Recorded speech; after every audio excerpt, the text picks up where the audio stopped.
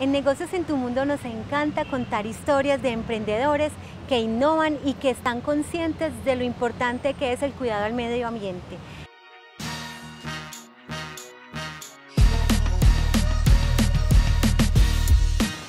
Me encuentro con David Muñoz, él es el director general de IN Agua Mineral. Bienvenido a Negocios en tu Mundo. Gracias, Vianet. Un saludo muy especial a todos los televidentes y feliz de estar acá.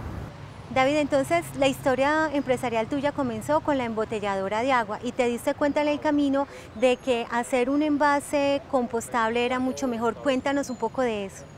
Sí, así es, Vianet.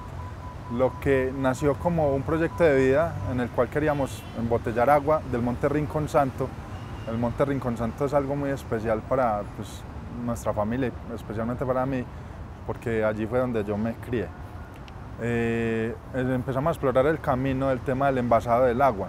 Hay dos tipos de agua, el agua potable tratada y el agua mineral natural.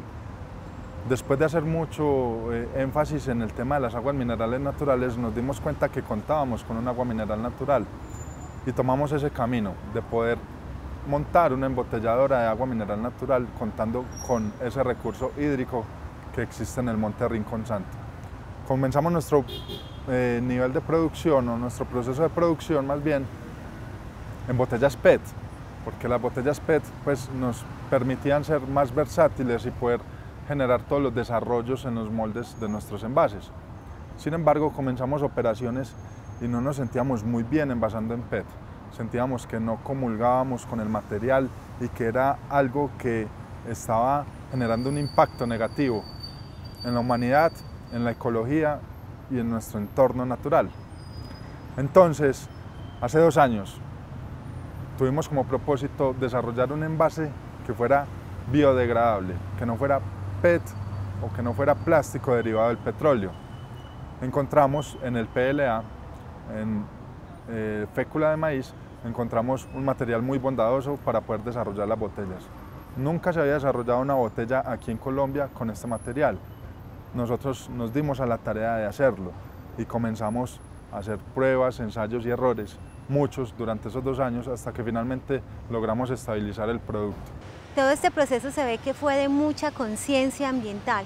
¿Cómo fue ese momento en el que ustedes decidieron parar de producir agua en botella PET? Precisamente hace dos años cuando decidimos comenzar nuestro proceso, esperábamos tener unos resultados prontos. Prueba, ensayo y error, prueba, ensayo y error, y llegamos a tener un producto estable, ¿cierto? Pero ya no queríamos producir más PET, simplemente no queríamos producir más, PET. Entonces hace seis meses decidimos parar nuestra operación por completo en la embotelladora Santa Eva, hasta no tener nuestras botellas de PLA. Aquí fue unos meses difíciles, esto fue una etapa muy difícil que se vivió puesto que dejamos de producir y por fortuna, ahorita en diciembre logramos recibir las primeras botellas para embotellar y reanudar todas las operaciones de mercadeo y comerciales en botella PLA compostable. David, el material con el que están hechas las botellas es fécula de maíz. ¿Cómo es ese proceso de compostaje? Es muy importante ilustrarnos sobre el proceso de compost. Un proceso compost básicamente es eh, tú tener un recipiente con orificios en el cual vas a depositar toda la tierra y toda la materia orgánica, tierra, una capa de tierra y toda la materia orgánica que generes en tu cocina o en tu hogar. Vuelves y depositas otra capa de tierra y así sucesivamente vas a empezar a generar un proceso de compost porque la degradación y la descomposición de toda esta materia orgánica generan unos gases y unas temperaturas las cuales permiten que se genere una materia orgánica renovable y que se integra a la tierra. Entonces, ¿cómo entramos nosotros o cómo ingresamos nosotros en un proceso de compostaje? Es fácil y sencillo. Después de tener el proceso de compostaje, nosotros nuestras botellas, que son de maíz, que es una materia orgánica, las depositamos en ese proceso de compostaje y ellas simplemente pues, van a desaparecer o se van a integrar nuevamente más bien a, la tierra, a esa tierra, a ese compost. Hay que tener en cuenta algo que es muy importante. Nuestra botella es compostable, es hecha de fécula de maíz. Nuestro próximo reto es la tapa, todavía es plástica.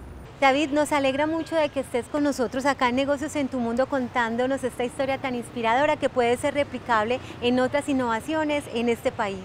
Exactamente, y eso es precisamente lo que queremos, generar una comunidad sensible, respetuosa, amable con el medio ambiente, eh, fortalecerla y encontrar la manera de generar sustitutos que no sean tan agresivos con el medio ambiente. Tenemos que cuidar nuestro futuro. Finalmente somos los humanos los que vamos a desaparecer. El mundo siempre va a estar acá. Bueno, este es un excelente mensaje para todos. Muchas gracias. Esto es Negocios en tu Mundo, inspiración para la acción.